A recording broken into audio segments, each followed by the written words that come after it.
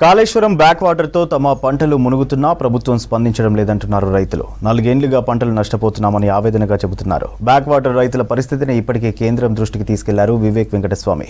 రాష్ట్ర ప్రభుత్వం ఇప్పటికైనా తమకు పరిహారం ఇవ్వాలని కోరుతున్నారు రైతులు.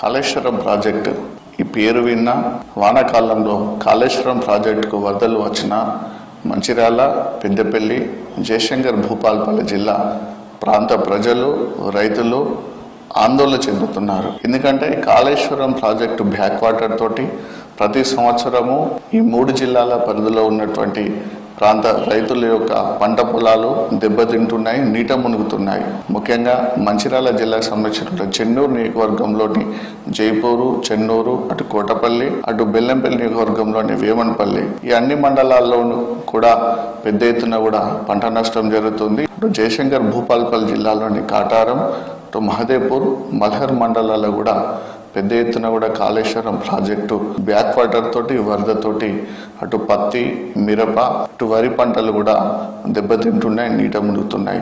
నాలుగు సార్లు కూడా కాళేశ్వరం ప్రాజెక్టు బ్యాక్ వాటర్ తోటి కూడా రైతులు తీవ్రంగా నష్టపోయారు. కాళేశ్వరం లిఫ్ట్ ఇరిగేషన్ స్కీమ్ సంబంధించినటువంటి కంప్లీట్ స్ట్రక్చర్ ఇది. ఎక్కడి నుంచి ఎక్కడి వరకు వాటర్ సప్లై అవుతుందో కూడా మనం ఇందులో స్పష్టంగా పేర్కొన్నారు. ఇది దిగువన ఇది ఈ మేడిగడ్డ బ్యారేజ్ దీన్ని లక్ష్మీ బ్యారేజ్ అంటారు. ఇక్కడి నుండి అన్నారం సుందిల్లా ఎల్లంపల్లి ప్రాజెక్టు ఇటు మేడారం నంది మేడారం ఇక్కడ పంప్ ఉంటుంది. ఇక్కడి నుంచి వెళ్ళి ఇటు మిడ్ మేనేరు అనంతగిరి కొంచెం మల్లన్న సాగర్ నుంచి కొండపోచమ్మ వరకు ఇక్కడికి వెళ్ళిపోతుంది. ఎల్లంపల్లి మనకు కనిపిస్తుంది. ఎల్లంపల్లి ప్రాజెక్ట్ ఇది.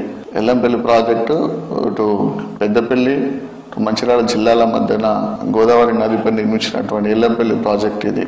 కడెం ప్రాజెక్ట్ నుంచి అటు ఎస్ఆర్ఎస్పితో పాటు గోదావరి నది పరివాహక ప్రాంతం నుంచి కూడా ఎల్లంపల్లి లోకి భారీగా వరద నీరు వస్తుంది ప్రతిసారి. ఎల్లంపల్లి ప్రాజెక్ట్ యొక్క గేట్లను పంపు విడుదల చేస్తున్నారు. దీంతో భారీగా నీటిని విడుదల చేయడంతో దిగువన ఉన్నటువంటి సుందిల్ల బ్యారేజ్లకు వస్తుంది. దీన్ని పార్వతి బ్యారేజ్ కూడా అనుకుంటారు.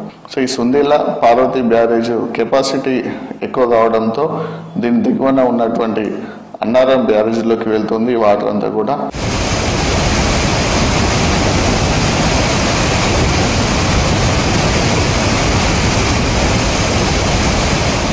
ఎల్లంపల్లి ప్రాజెక్ట్ ఇది. ఎల్లంపల్లి ప్రాజెక్ట్కి ఎగువ నుంచి వస్తున్నటువంటి వర్షంతో ఫ్లో ఎక్కువ అవుతున్న క్రమంలో నలభై నుంచి యాభై గేట్ల వరకు లిఫ్ట్ చేస్తున్నారు.